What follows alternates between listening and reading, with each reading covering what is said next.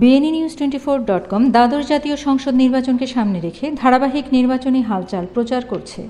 এতে উনিশশো একানব্বই সালের সাতাশে ফেব্রুয়ারি অনুষ্ঠিত পঞ্চম জাতীয় সংসদ থেকে দু হাজার আঠারো সালের ত্রিশে ডিসেম্বর অনুষ্ঠিত একাদশ সংসদ নির্বাচনের ভিত্তিতে রাজনৈতিক দলগুলোর আসন ভিত্তিক সাংগঠনিক হালচাল তুলে ধরার চেষ্টা করে যাচ্ছে BNE news twenty four dot com আজ থাকছে চট্টগ্রাম চার আসনের হালচাল।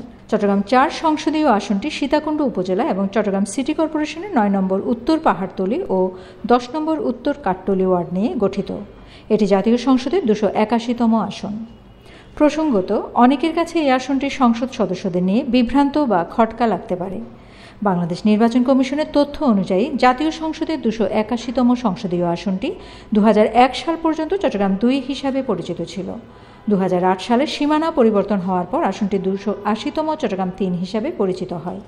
পরবর্তীতে দু সালের দশম সংসদ নির্বাচন থেকে আসনটি দুশো একাশিতম চট্টগ্রাম চার নামে পরিচয় বহন করে আসছে। দুশো একাশিতম সংসদীয় আসন থেকে এ পর্যন্ত যারা নির্বাচিত হয়েছেন এবং প্রতিদ্বন্দ্বিতা করেছেন, তার ভিত্তিতে বিএনএ নিউজ টোয়েন্টি ফোরের গবেষণা টিম সেই সব সংসদ সদস্যদের তালিকা, নির্বাচনী তথ্য, উপাত্ত এবং বিভিন্ন সংবাদ মাধ্যমের তথ্যের ভিত্তিতে প্রতিবেদনটি তৈরি করেছে। নির্বাচন কমিশনের তথ্য অনুযায়ী উনিশশো একানব্বই সালের সাতাশে ফেব্রুয়ারি পঞ্চম সংসদ নির্বাচনে এই আসনে ভোটার ছিলেন এক লাখ আটত্রিশ হাজার দুইশত সতেরো জন। ভোট প্রদান করেন আশি হাজার তিনশত চুরানব্বই জন। নির্বাচনে বিএনপির এল কে সিদ্দিকি বিজয়ী হন। ধানের শেষ প্রতীকে তিনি পান ছত্রিশ হাজার আটশত পঞ্চান্ন ভোট।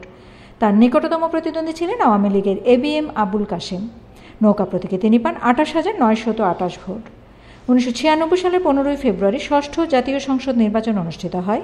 তত্ত্বাবধায়ক সরকারের দাবিতে আওয়ামী লীগ সহ সব বিরোধী দল এই নির্বাচন শুধু বর্জন করেই ক্ষান্ত হয়নি, প্রতিহতও করে। নির্বাচনে বিএনপি, ফ্রিডম পার্টি এবং কিছু নাম সর্বস্ব রাজনৈতিক দল অখ্যাত ব্যক্তি প্রতিদ্বন্দ্বিতা করেন। এই নির্বাচনে বিএনপির এল কে সিদ্দিকিকে বিজয়ী ঘোষণা করা হয়। ষষ্ঠ জাতীয় সংসদ নির্বাচনের মাধ্যমে গঠিত এই সংসদের মেয়াদ ছিল মাত্র এগারো দিন। তত্ত্বাবধায়ক সরকার বিল পাশ হওয়ার পর এই সংসদ বিলুপ্ত ঘোষণা করা হয়। উনিশশো ছিয়ানব্বই সালের বারোই জুন সপ্তম সংসদ নির্বাচন অনুষ্ঠিত হয়। নির্বাচনে ভোটার ছিলেন এক লাখ ছত্রিশ হাজার পাঁচশত ছিয়াশি জন। ভোট প্রদান করেন এক লাখ চার হাজার ছয়শত পঁয়ত্রিশ জন।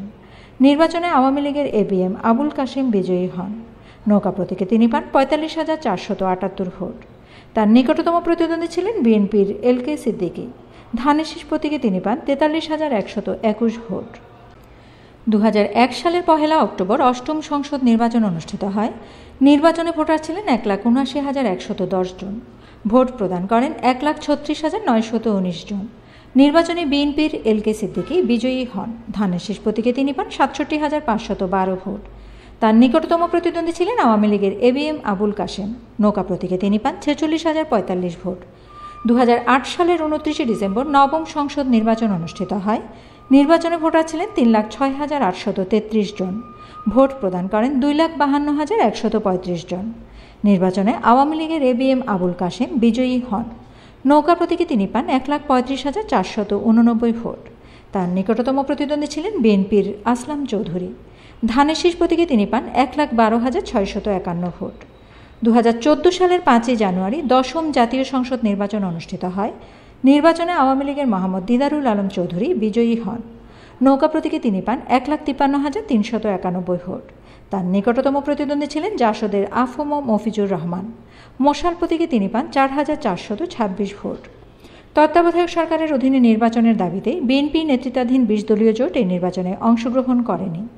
দু সালের ত্রিশে ডিসেম্বর একাদশ সংসদ নির্বাচন অনুষ্ঠিত হয়। নির্বাচনে ভোটার ছিলেন তিন লাখ তিরানব্বই হাজার দুইশত আঠাশ জন।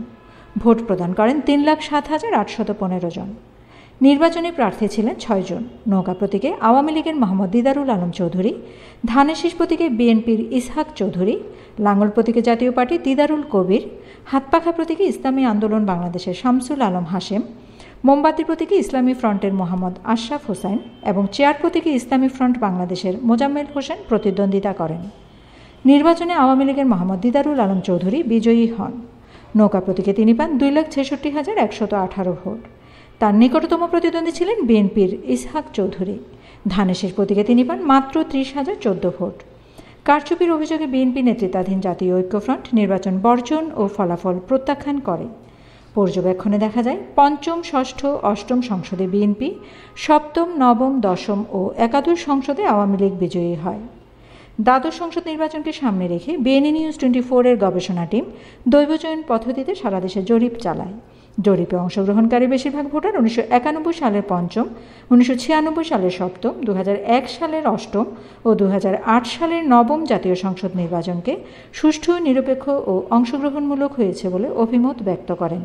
তারই ভিত্তিতে BNA news twenty four Chittagong চার আসনে পঞ্চম, সপ্তম, অষ্টম ও নবম এই চারটি নির্বাচনে প্রদত্ত ভোটের পরিসংখ্যানকে মানদণ্ড ধরে Awami league, BNP, Jatiya party ও জামায়াত ইসলামের সাংগঠনিক শক্তি বিশ্লেষণের মাধ্যমে একটি কল্পানুমান উপস্থাপনের চেষ্টা করেছে। অনুসন্ধানে দেখা যায়, চট্টগ্রাম চার সংসদীয় আসনে উনিশশো একানব্বই সালের পঞ্চম সংসদ নির্বাচনে ভোট প্রদান করেন আটান্ন দশমিক এক সাত শতাংশ ভোটার। প্রদত্ত ভোটের মধ্যে আওয়ামী লীগ পঁয়ত্রিশ দশমিক নয় আট শতাংশ, বিএনপি পঁয়তাল্লিশ দশমিক আট চার শতাংশ, জাতীয় পার্টি চার দশমিক দুই দুই শতাংশ, জামায়াত ইসলামী দশ দশমিক ছয় তিন শতাংশ, স্বতন্ত্র ও অন্যান্য তিন দশমিক তিন তিন শতাংশ ভোট পায়। উনিশশো ছিয়ানব্বই সালের সপ্তম সংসদ নির্বাচনে ভোট প্রদান করেন ছিয়াত্তর দশমিক ছয় এক শতাংশ ভোটার।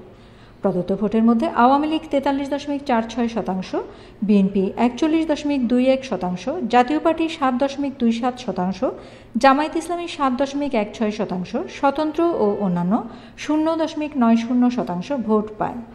দু হাজার এক সালের অষ্টম সংসদ নির্বাচনে ভোট প্রদান করেন ছিয়াত্তর দশমিক চার চার শতাংশ ভোটার। প্রদত্ত ভোটের মধ্যে আওয়ামী লীগ তেত্রিশ দশমিক ছয় তিন শতাংশ, চার দলীয় জোট উনপঞ্চাশ দশমিক তিন এক শতাংশ জাতীয় পার্টি তিন দশমিক ছয় তিন শতাংশ, স্বতন্ত্র ও অন্যান্য তেরো দশমিক চার তিন শতাংশ ভোট পায়। দু হাজার আট সালের নবম সংসদ নির্বাচনে ভোট প্রদান করেন বিরাশি দশমিক এক সাত শতাংশ ভোটার। প্রদত্ত ভোটের মধ্যে চোদ্দ দলীয় জোট তিপ্পান্ন দশমিক সাত চার শতাংশ, চার দলীয় জোট চুয়াল্লিশ দশমিক ছয় আট শতাংশ, স্বতন্ত্র ও অন্যান্য এক দশমিক পাঁচ আট শতাংশ ভোট পায়। চট্টগ্রাম চার আসনের বর্তমান সংসদ সদস্য আওয়ামী লীগের মোহাম্মদ দিদারুল আলম চৌধুরী। দ্বাদশ জাতীয় সংসদ নির্বাচনে তিনি আবারও মনোনয়ন চাইবেন। এছাড়া মনোনয়ন চাইবেন সীতাকুণ্ড উপজেলা আওয়ামী লীগের সভাপতি ও সাবেক উপজেলা চেয়ারম্যান আবদুল্লাহ আল বাকের ভূঁইয়া, সাবেক সংসদ সদস্য প্রয়াত A B M Abul Kashem মাস্টারের ছেলে, সীতাকুণ্ড উপজেলার সাবেক চেয়ারম্যান ও সীতাকুণ্ড উপজেলা আওয়ামী লীগের সাধারণ সম্পাদক এস এম আল মামুন। জাতীয় সংসদ নির্বাচনে প্রতিদ্বন্দ্বিতার বাসনা নিয়ে তিনি গত ত্রিশে অক্টোবর উপজেলা চেয়ারম্যান থেকে পদত্যাগ করেছেন। এস এম আল মামুন দু হাজার উনিশ সালের আঠারোই মার্চ দ্বিতীয় ধাপে অনুষ্ঠিত উপজেলা নির্বাচনে চেয়ারম্যান নির্বাচিত হয়েছিলেন। আগামী মার্চ মাসে তার মেয়াদ শেষ হয়ে যাচ্ছে। আরও মনোনয়ন চাইবেন সীতাকুণ্ড উপজেলা আওয়ামী লীগের সাবেক সভাপতি ও কেন্দ্রীয় কৃষক লীগের সহসভাপতি মোস্তফা কামাল চৌধুরী।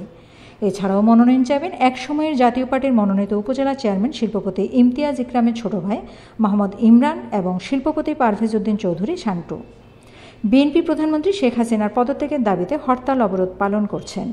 দলের শীর্ষ পর্যায়ের নেতাদের অনেকেই কারাগারে আটক রয়েছেন। আটক আছেন এই আসনে বিএনপির একক প্রার্থী কেন্দ্রীয় যুগ্ম মহাসচিব আসলাম চৌধুরী। একাধিক মামলায় তার দুই বছরের বেশি সাজাও হয়েছে। সেই হিসেবে আসলাম চৌধুরী নির্বাচনে প্রতিদ্বন্দ্বিতা করতে পারবেন না। এমনকি বিদেশে অবস্থানরত তার স্ত্রী সহ পরিবারের অন্য সদস্যরাও নির্বাচনে অংশ নিতে পারবেন না। কারণ তারা ইতিমধ্যে ঋণ খেলাপির দায়ী দুই বছরেরও বেশি সাজাপ্রাপ্ত হয়েছেন। আসলাম চৌধুরীর বিকল্প কাউকে মাঠে দেখা যাচ্ছে না। তবে বিশ দলীয় জোটের শরিক জামায়াত ইসলামের সীতাকুণ্ড দক্ষিণের আমির আনোয়ার সিদ্দিক চৌধুরী জোটের মনোনয়ন চাইবেন। জাতীয় পার্টি থেকে মনোনয়ন চাইবেন জাতীয় পার্টির কেন্দ্রীয় যুগ্ম মহাসচিব দিদারুল কবির দিদার। একাদশ জাতীয় সংসদেও তিনি প্রার্থী ছিলেন, তবে তার রাজনৈতিক কর্মকাণ্ড নির্বাচন কেন্দ্রিক। নির্বাচনী ভাবনায় সংসদ সদস্য আলহাজ দিদারুল আলম বলেন আমিও আমার পরিবার আজীবন মানুষের সেবা করে যেতে চাই। গত দশ বছরে সীতাকুণ্ডে ব্যাপক উন্নয়ন করেছে। আমাকে মাননীয় প্রধানমন্ত্রী আবারও সীতাকুণ্ডবাসীর সেবা করার সুযোগ দিয়ে উন্নয়নের যাত্রা অব্যাহত রাখবেন বলে আশা করি। সীতাকুণ্ড উপজেলা চেয়ারম্যান থেকে গত ত্রিশে অক্টোবর পদত্যাগকারী এস এম আল মামুন বলেন, আমি মনোনয়ন চাইব। দেয়া না দেয়া মাননীয় প্রধানমন্ত্রী শেখ হাসিনার এখতিয়ার। প্রধানমন্ত্রী যাকেই মনোনয়ন দেবেন, সবাই মিলে তার জন্য কাজ করবেন এমন প্রত্যয় ব্যক্ত করেন মামুন। লায়ন আলহাজ মোহাম্মদ ইমরান বলেন, দলের নীতি ও আদর্শকে সামনে রেখে জনগণের দুয়ারে দুয়ারে গিয়ে বঙ্গবন্ধু কন্যার উন্নয়ন কর্মকাণ্ড প্রচার এবং নৌকায় ভোট দেওয়ার জন্য মানুষের ঘরে ঘরে যাচ্ছে। বঙ্গবন্ধু কন্যা যে স্মার্ট বাংলাদেশের স্বপ্ন দেখছেন, সে স্বপ্নের সহযাত্রী হতে চান বলে উল্লেখ করেন লায়ন ইমরান। শিল্পপতি পারভেজ উদ্দিন চৌধুরী শান্টু বলেন, দ্বাদশ জাতীয় সংসদ নির্বাচনে প্রধানমন্ত্রী শেখ হাসিনার কাছে মনোনয়ন চাইব। মনোনয়ন পেলে বিপুল ভোটে জিতবেন বলে আশাবাদ ব্যক্ত করেন এই শিল্পপতি। তথ্য উপাত্ত বিশ্লেষণে দেখা যায়, চট্টগ্রাম চার সীতাকুণ্ড আসনটি একক কোনো রাজনৈতিক দলের ঘাঁটি নয়। উনিশশো তিয়াত্তর সালে প্রথম জাতীয় সংসদ নির্বাচনে এই আসনের সংসদ সদস্য ছিলেন মুস্তাফিজুর রহমান সিদ্দিকী। উনিশশো সালে দ্বিতীয় সংসদ নির্বাচনে বিএনপির এল কে সিদ্দিকী, উনিশশো ছিয়াশি সালে তৃতীয় সংসদ নির্বাচনে জাসদের আইনুল কামাল সংসদ সদস্য হন। এরশাদ সরকারের পতনের পর উনিশশো একানব্বই সালে পঞ্চম সংসদ নির্বাচনে আসনটি পুনরুদ্ধার করেন বিএনপির এল কে সিদ্দিকী। উনিশশো ছিয়ানব্বই সালের পনেরোই ফেব্রুয়ারি অনুষ্ঠিত এগারো দিনের ষষ্ঠ সংসদও তিনি সংসদ সদস্য হন। কিন্তু এর চার মাস পর উনিশশো ছিয়ানব্বই সালের ছয়ই জুন অনুষ্ঠিত সপ্তম সংসদ নির্বাচনে আওয়ামী লীগের মাস্টার এবিএম আবুল কাশেমের কাছে পরাজিত হন। এর মাধ্যমে নৌকার বিজয় কেতন উড়ে দীর্ঘ তেইশ বছর পর। দু হাজার এক সালের অষ্টম সংসদ নির্বাচনে বিএনপির এল কে সিদ্দিকি পরাজয়ের শোধ নেন।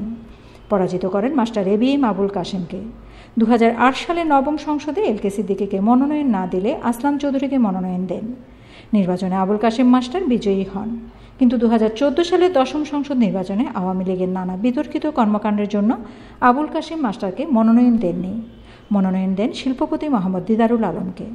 বিএনপি নির্বাচনে অংশগ্রহণ না করায় খুব সহজে বিজয়ী হয় দিদারুল আলম। দু হাজার আঠারো সালের একাদশ সংসদ নির্বাচনে বিজয়ী হন তিনি। কাকতালীয় হলেও সত্য, উনিশশো একানব্বই সাল থেকে যে দল এই আসনে বিজয়ী হয়েছে, সেই দলই সরকার গঠন করেছে। এই আসনে আওয়ামী লীগ ও বিএনপি সমানেই সমান। পার্থক্য হচ্ছে, আওয়ামী লীগের দলীয় কোন্দল রয়েছে, নির্বাচনে মনোনয়নের প্রার্থীও বেশি। এক একজন এক এক এলাকা দখল করে আছে। আওয়ামী লীগের সংসদ সদস্য প্রার্থী হতে উপজেলা চেয়ারম্যানের পদ ছেড়েছেন সাবেক সংসদ সদস্য প্রয়াত আবুল কাশিমের ছেলে আবদুল্লাহ আল মামুন। এটি আওয়ামী লীগের দলীয় কোন্দলের বহিঃপ্রকাশ বলে মনে করছেন আওয়ামী লীগের নেতাকর্মীরা। বিএনপিতে দলীয় কোন্দল নেই, একাধিক মনোনয়ন প্রত্যাশীও নেই। সেই দিক থেকে বিএনপি নির্ভার। কিন্তু এই আসনে কারাগারে আটক আসলাম চৌধুরী ছাড়া বিএনপির জনপ্রিয় কোনো প্রার্থীর এখনও দেখা মিলছে না। দ্বাদশ সংসদ নির্বাচন সুষ্ঠু, নিরপেক্ষ ও অংশগ্রহণমূলক হলে জাতীয় সংসদের দুশো একাশিতম সংসদীয় আসন চট্টগ্রাম চার আসনটিতে আওয়ামী লীগের জয় পরাজয় নির্ভর করছে বিএনপির আসলাম চৌধুরী নির্বাচনে অংশগ্রহণ করা না করার ওপর। এমনটাই মনে করেন রাজনৈতিক বিশ্লেষকরা। প্রতিবেদনটি ভালো লাগলে শেয়ার করুন, অন্যদের জানার সুযোগ দিন। প্রতিদিন ধারাবাহিকভাবে প্রচারিত আসনভিত্তিক গবেষণামূলক প্রতিবেদনগুলো দেখুন এবং নিজের রাজনৈতিক জ্ঞানকে সমৃদ্ধ করুন। লাইক, কমেন্ট ও সাবস্ক্রাইব করে বেনি নিউজ টোয়েন্টি ফোরের সঙ্গেই থাকুন।